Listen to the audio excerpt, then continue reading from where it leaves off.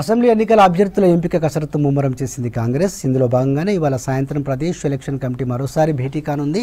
అభ్యర్థుల వ్యక్తిగత పూర్తి సమాచారంతో గాంధీ భవన్లో పీఈసీ చైర్మన్ రేవంత్ రెడ్డి అధ్యక్షతన సమావేశం జరగనుంది. అభ్యర్థుల ఎంపికపై స్క్రీనింగ్ కమిటీకి ఇచ్చే నివేదికను సిద్ధం చేయనుంది పీఈసీ. మొత్తం ఒక వెయ్యి ఆరు దరఖాస్తులను స్క్రూటినీ చేయనున్నారు పీఈసీ సభ్యులు. ఇప్పటికే ఇరవై ఐదు నియోజకవర్గాల్లో అభ్యర్థులపై క్లారిటీ వచ్చినట్టుగా తెలుస్తోంది. తొంభై నాలుగు నియోజకవర్గాల్లో అభ్యర్థుల ఎంపికపై కసరత్తు కొనసాగనుంది. పీఈసీ ఇచ్చే నివేదికను రేపటి నుంచి మూడు రోజుల పాటు పీఈసీ సభ్యులు డీసీసీ అధ్యక్షులు పార్టీ సీనియర్లతో విడివిడిగా చర్చించనున్నారు స్క్రీనింగ్ కమిటీ చైర్మన్ మురళీధర్ సభ్యులు.